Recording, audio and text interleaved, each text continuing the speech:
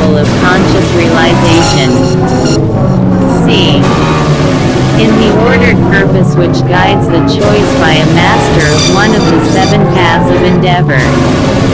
Thus choice is based on knowledge and not on desire. D. Conscious transmutation he undertakes in the work of evolution, and in the gradual transference of his own life, and the life of his group, into the monadic aspect which is reflected in the Buddhic. E. On atmic levels. A. In the selective work of the it relates planetary manifestation, and the discriminative power which guides all action relating to his own planet, and the two others associated with the Earth, as a systemic triangle. B.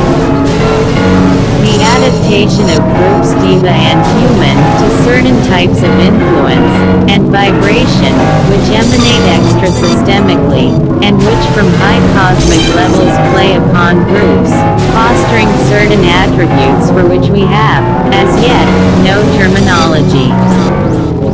C. The synthesizing work of the Brahma aspect as it works out in the blending of the four minor rays into the third major. D. C-H-E-F-A-C-T-O-R-O-F-M-A-N-A-S 503. Which results in planetary obscuration in connection with five of the heavenly men and which as in the previous work of synthesis concerns microcosmic evolution and is participated in by man.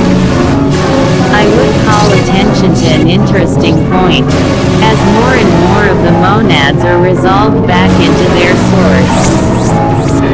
It produces a gradual obscuration of the particular heavenly man in whose body they are the cells. Though this may look to human vision as extending over a profoundly long period, from the point of view of universal or group consciousness it is occurring now. For instance, such an event is the obscuration of the manifestation of the logos of our Earth scheme is already in process and began in Lemurian caves. 7. As regards monadic discrimination, adaptability purpose and transmutative power it is needless to enlarge.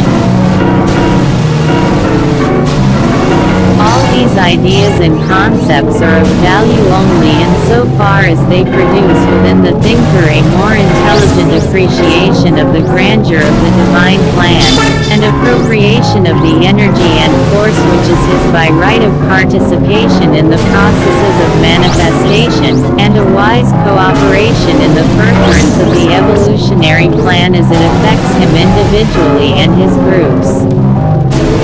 Section 2. Division C. T-H-E-G-O-I-C-R-A-Y-A-N-D-S-O-L-A-R-F-I-R-E. I. C-N-A-T-U-R-E-O-F-T-H-E-C-A-U-S-A-L-B-O-D-Y. 1.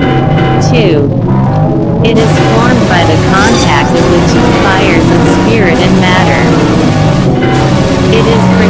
Individualization. 2. The nature of permanentatoms. 1. Their purpose. A. They are force distributors. B. Conservers of faculty. C. Assimilators and transmuters. E.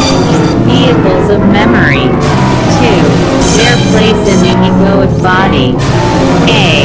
The astral permanent atom. B. The atomic triangle. 3. The spirillae and the egoic ray. A. The composition of the permanent atoms. B. The flames and fiery energy. C. The three fires. 4. Summary. 1. Wheels are centers of energy. A.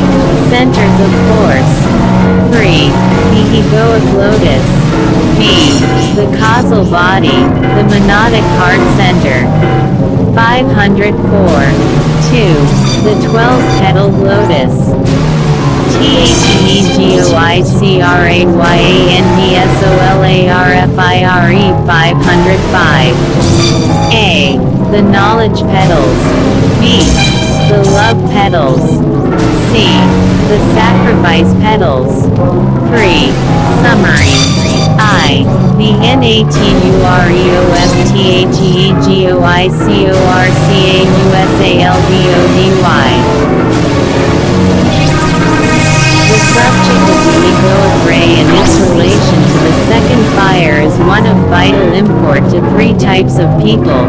Those who are interested in the true psychology, or in the evolution of the psyche, those who are on or nearing the path, and hence are coming more and more into touch with their own ego, those who work with the souls of men, the servers of the race. The reason for this is because in the new comprehension of this subject, that of the ego functioning in the causal body, comes the ability to work scientifically with the problem of one's own evolution, and to do good work in aiding the evolution of one's brother. 1. Egoic manifestation is produced through the medium of two fires. Consider somewhat the subject of the egoic ray and the causal body, viewing it from the standpoint of the microcosm, and leaving the student to work out for himself the analogies where the logos is concerned, conjuring him to bear in mind that the analogy must ever be drawn with due emphasis upon the fact that all that the human unit can comprehend is the manifestation of the solar logos in a physical body. In all manifestation, as we well know, we have duality producing triplicity. Spirit meets and contacts matter. The result of that contact is the birth of the sun, or the ego, the consciousness aspect. The egoic manifestation is therefore the middle aspect, the place of it one meant. 506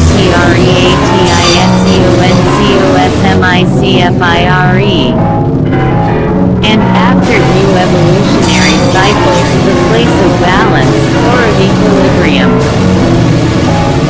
It should be noted that the analogy between the logos and man is not accurate, for man has to undergo the whole process within the solar periphery, whilst the logos periphery goes through the stage analogous to that which the man undergoes when his astral sheath clothes itself with etheric matter and he takes physical incarnation, which was touched upon when considering the subject of fire by friction.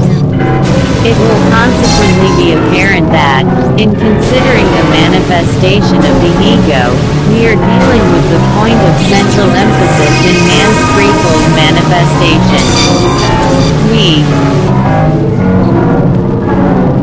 concerning ourselves with that division of his nature which concerns the process of making him the perfect six-pointed star during the preliminary stage, the threefold personality and the threefold triad merged and blended and perfectly produced through the intermediate point the causal body, and which, when the physical body is eliminated, makes him the five-pointed star or perfected Manasaputra. To state the whole in terms of fire, the causal body is produced by means of the positive light, or fire, of the spirit electric fire meaning the negative fire of matter, or, fire by friction, this causes the blazing forth of solar fire. This central blaze inevitably in due course burns up the third fire, or absorbs its essence, and is itself eventually blended with the fire of spirit and passes out of objective display. I seek here to deal with the subject of the causal body in two different ways one along the old lines and the other strictly along the lines of occult electrical phenomena. 2.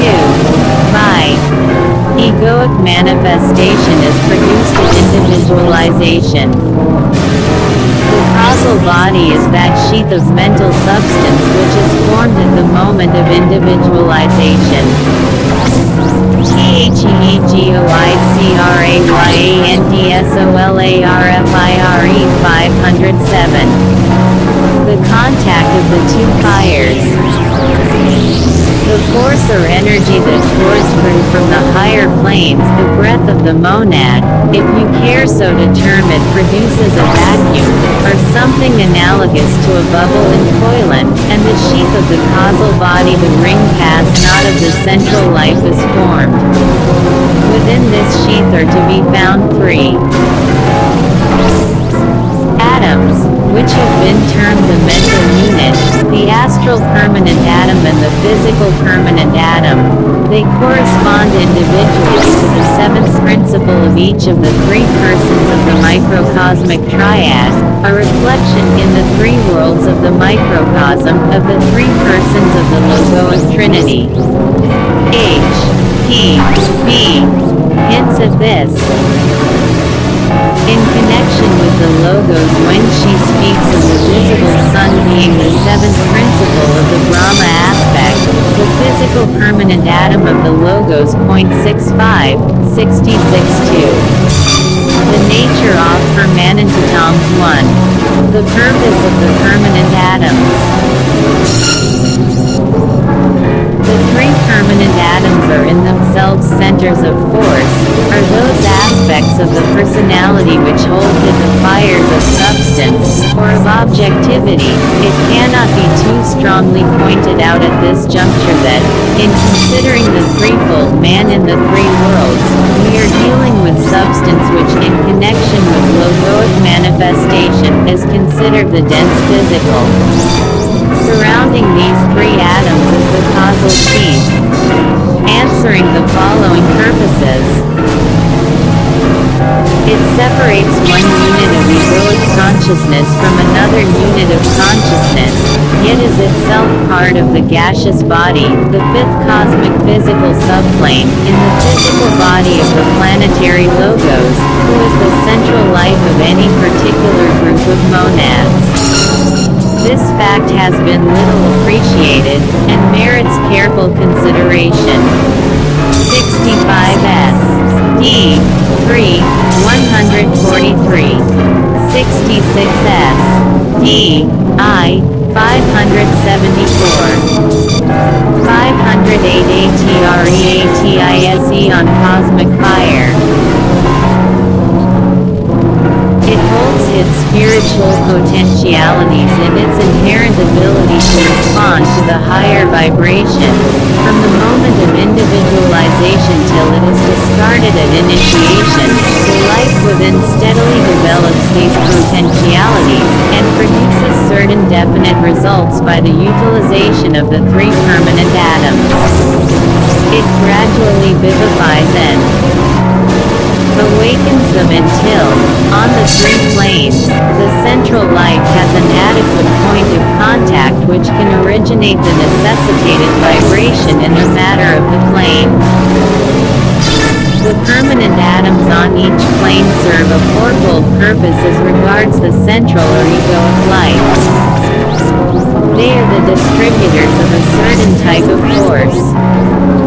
They are the conservers of faculty or ability to respond to a particular vibration.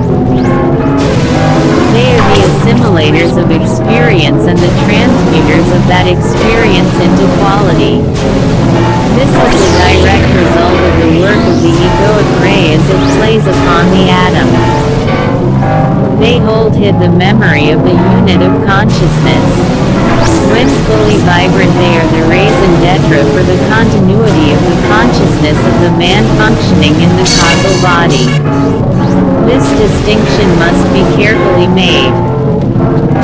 We must always remember in studying these difficult matters that we are dealing with the logoic dense physical body and that the mental unit is found in logoic gaseous matter. The astral permanent atom in logoic liquid matter. The physical permanent atom in dense physical substance. And they therefore have their place in matter of the three lowest subplanes of the physical body of the logos consequently when in the process of evolution, and through initiation, man achieves the consciousness of the spiritual triad, and transfers his polarization into the three tribes.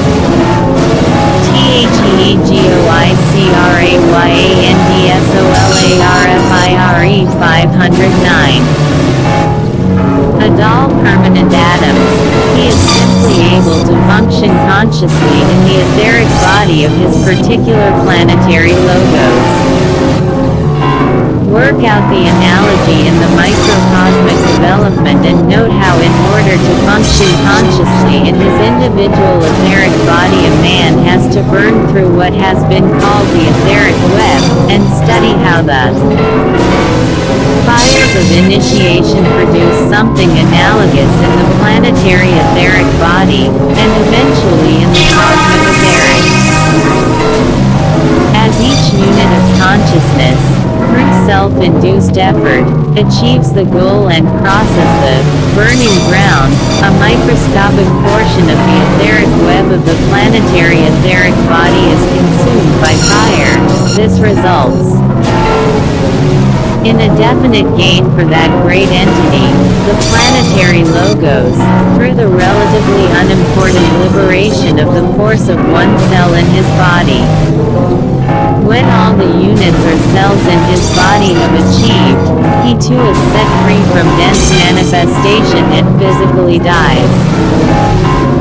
This stage is succeeded by the comparatively brief one of etheric existence, covering the period of planetary obscuration, and then he is liberated from incarnation altogether.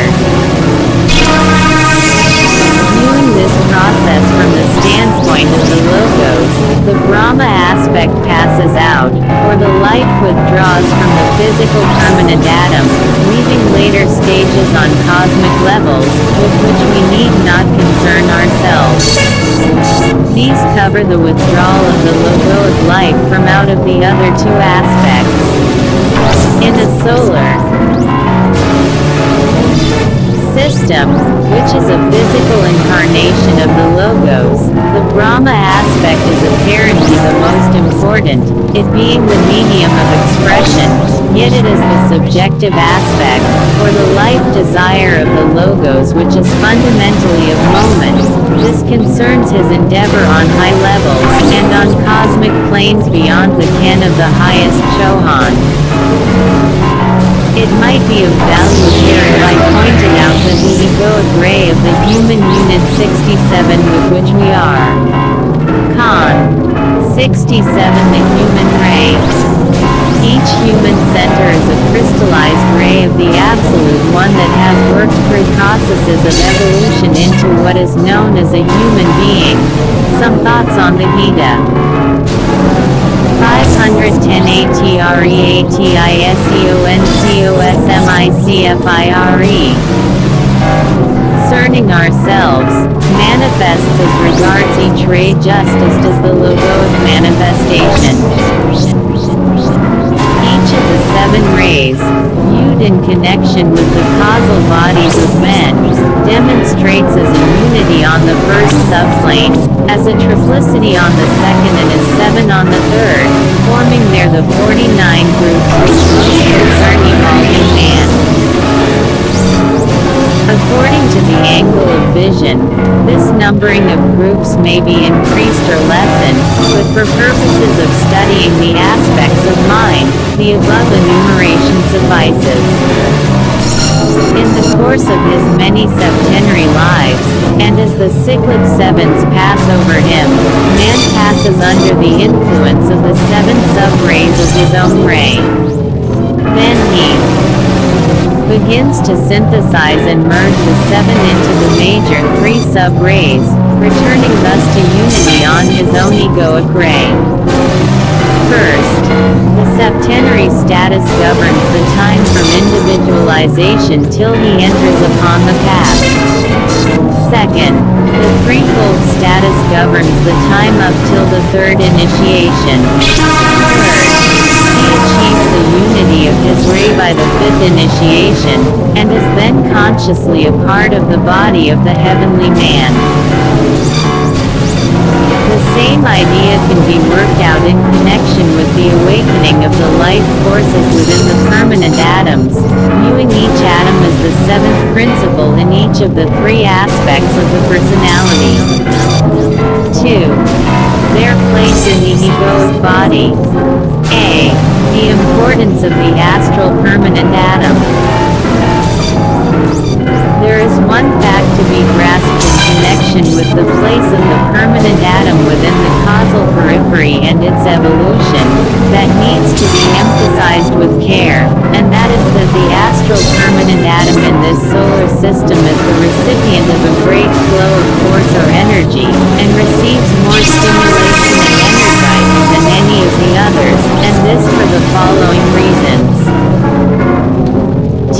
T-H-E-G-O-I-C-R-A-Y-A-N-D-S-O-L-A-R-F-I-R-E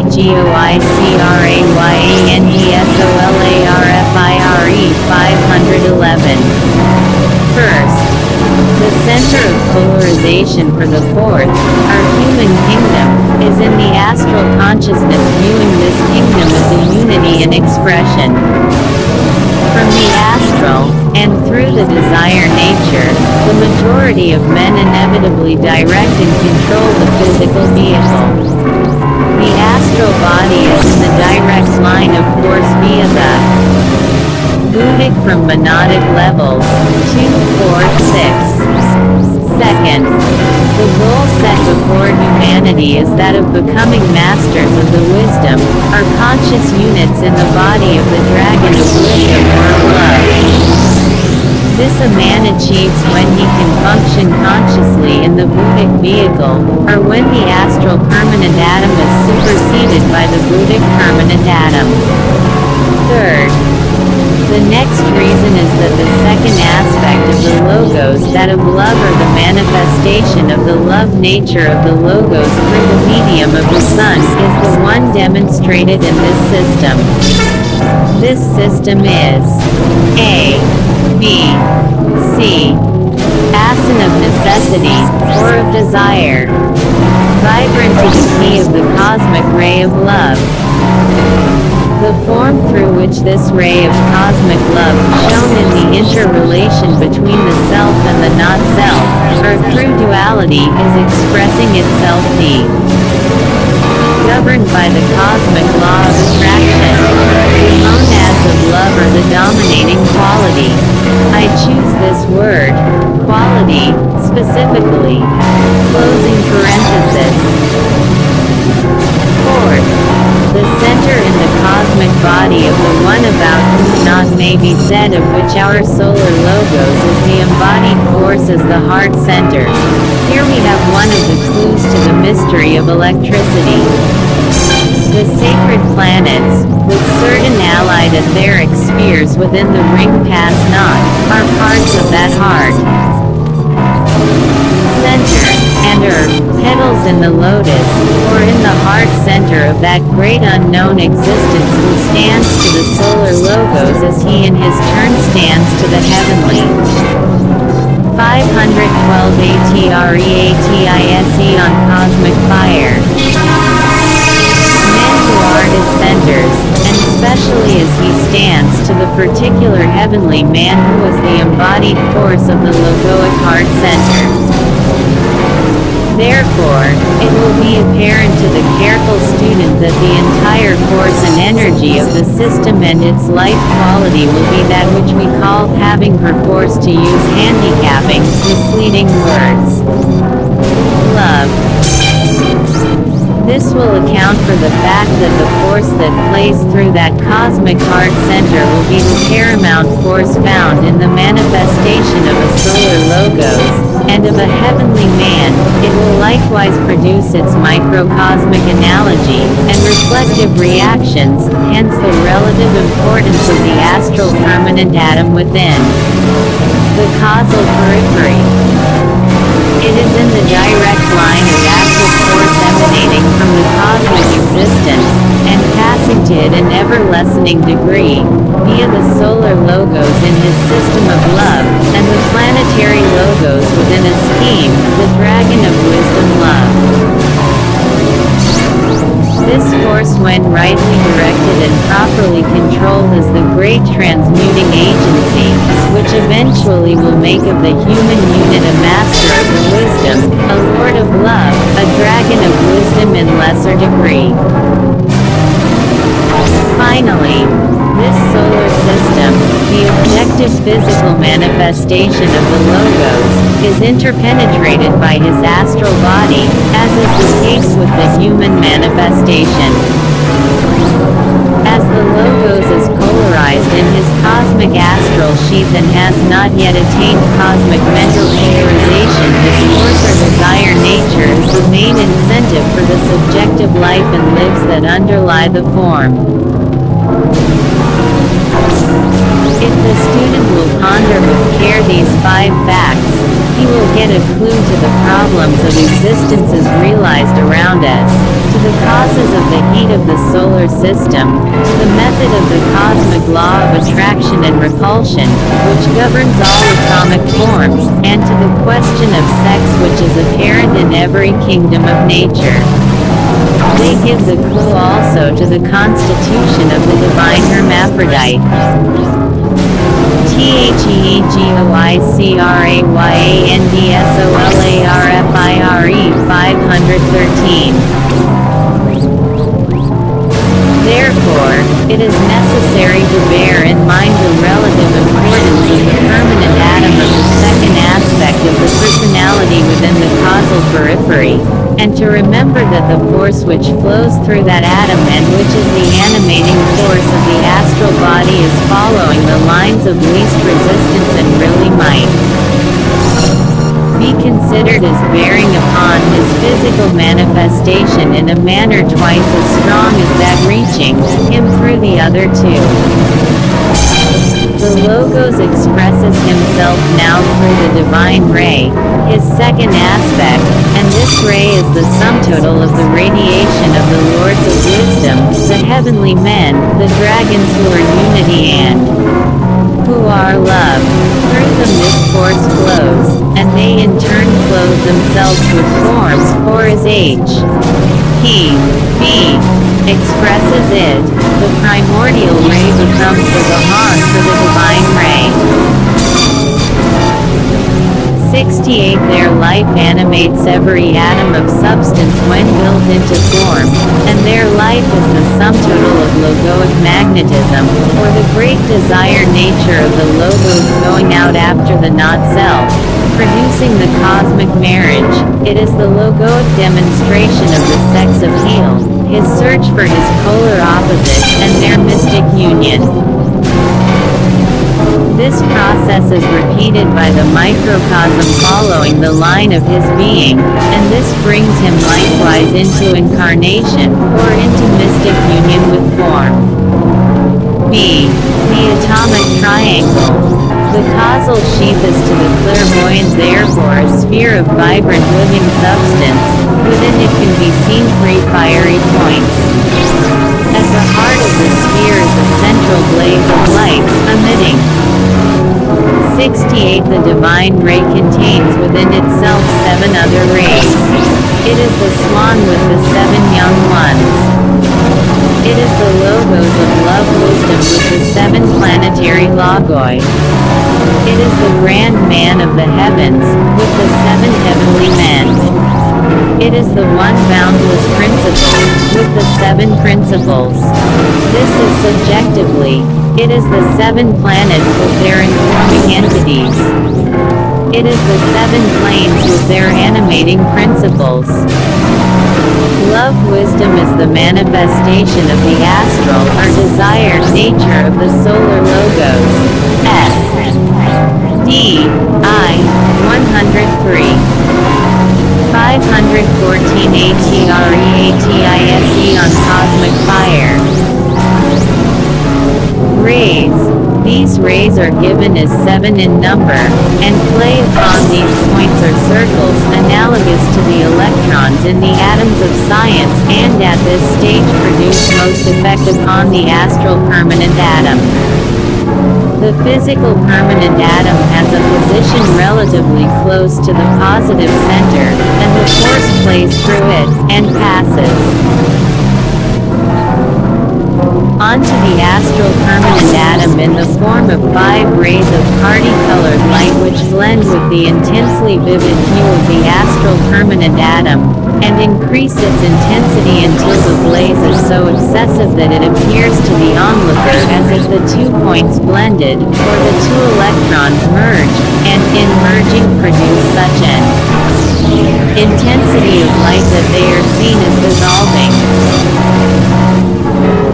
The mental unit, having a position within the causal body analogous to the planet furthermost from the Sun, becomes vibrant likewise, and the two other points considered now as one begin to interact with the mental unit, and a similar process is set up and is pursued until these two points circulating around their positive center also approach each other, blend, merge, and dissolve. The center of positive light gathers or synthesizes the three points, and thus the three fires of the personality repeat on their tiny scale the microcosmic procedure is seen in the synthesis of electric fire, solar fire, and fire by friction, and only a blazing unit is left. This blazing unit, through the combined heat of its being, burns up the causal body and escapes back onto the planes of abstraction. Thus man is the path itself, and also the pilgrim upon the path. Thus does he burn, but is also the burning ground. The analogy holds true in the case of the microcosm viewed from monadic levels in his manifestation as monad, ego and personality, and thus the process is carried on as it concerns a heavenly man, and likewise a solar logos. Should the brain suffice to hold the concept, thus, T-H-E-G-O-I-C-R-A-Y-A-N-D-S-O-L-A-R-F-I-R-E 515 is the process also on cosmic levels for such high existences as the seven rishis of the Great Bear, and that still greater being, the one about whom not M-A-Y-D-E-S-A-I-D. 3. The Cerulean the egoic ray. We will take up now the subject of the spirillae within the permanent atom, and see in what manner they are affected by the egoic ray, remembering always that we are considering them as, first, the interior economy of the life germ on the three planes which concern man in the three worlds, second, as the seventh principle in each of the three sheaths, and third, as the positive nucleus of force which holds together the matter of the three sheaths. Let us therefore study two things. The composition of the permanent atom, the difference between the mental unit and the astral and physical permanent atoms. To do this with clarity, and so bring some kind of definite concept into being from the dark regions of abstraction, let us tabulate. A. The composition of the permanent atom. The permanent atom of the astral and physical planes is a sphere of physical or astral substance, composed of atomic matter, and characterized by the following qualities. Responsiveness. This is its inherent power to respond to the vibration of someone of the heavenly men, as it is transmitted via the Deva, or Brahma aspect, of his threefold nature. The permanent atom finds its place within the sphere of influence of one or other of the great devas who are the Raja lords of a plane. Form building power. These devas sound forth two syllables of the threefold microcosmic word and are each on their own plane the coherent agency which gathers.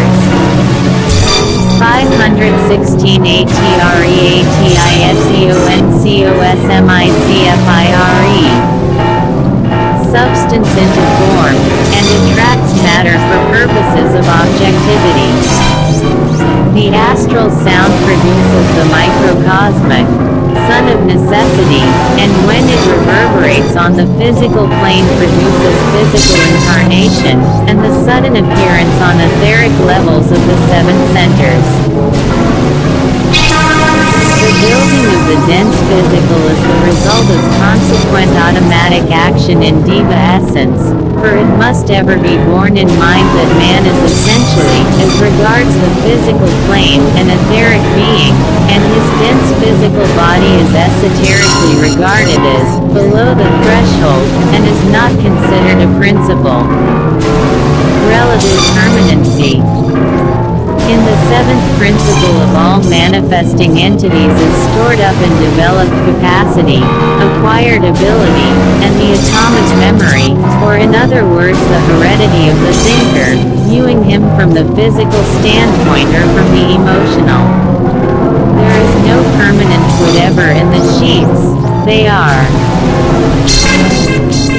built into temporary forms, and dissolved when the thinker has exhausted their possibilities.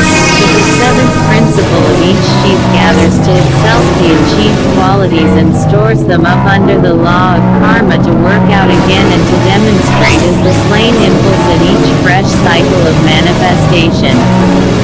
This permanency is itself likewise only a relative one, and as the inner fire within the atom burns more brightly, as the external fires of the ego or solar fire beat upon it with ever-increasing intensity, the atom in due time is consumed, and the inner blaze becomes so great that it destroys its encompassing wall. Heat. Herein lies the distinction between the permanent atoms on all planes, and the atomic matter of which they form a part. It is not easy to make this distinction clear, nor is it desirable at this time. The true facts of the case are one of the guarded secrets of initiation, but the distinction between the permanent atom and atomic matter may be somewhat comprehended if we state. T-H-E-G-O-I-C-R-A-Y-A-N-D-S-O-L-A-R-F-I-R-E 517. The permanent atom is one that has been appropriated by one of the lives that form the centers in the body of a solar lord, whilst atomic matter per se goes to the formation of other parts of his great body of light. A permanent atom is one which has come under the attractive power of the second aspect, whilst atomic matter itself is vitalized by the life of the third aspect. A permanent atom follows the line of the least resistance of force, and is passing out of the control of the Deva Lord and coming under the control of positive light. This concerns the evolution of consciousness in substance. A permanent atom comes under the direct control of the lower of the three groups of Lipika lords, and is the agency through which they work in the imposition of karma upon the particular entity who may be utilizing it. They work directly with the permanent atoms of men, and produce results through the agency of form until they have exhausted the vibratory capacity of any particular atom. When this is the case the atom passes into the stage of obscuration, as does the seventh principle of any sheath. It comes under the influence of the first aspect, manifesting as the destroyer. Remember that in these affirmations we are concerning ourselves with the microcosm, and with the permanent atoms which are related to him. Regards the solar logos manifesting in the system, we are concerned with but one permanent atom, and this is his physical permanent atom. It is thus true that within the permanent physical atom of the solar logos lies hid the ability to respond consciously to the vibration of all the planes, lies hid the uh, secret of the karmic purpose of his incarna. 618 ATREATISEONCOSMICFIRE.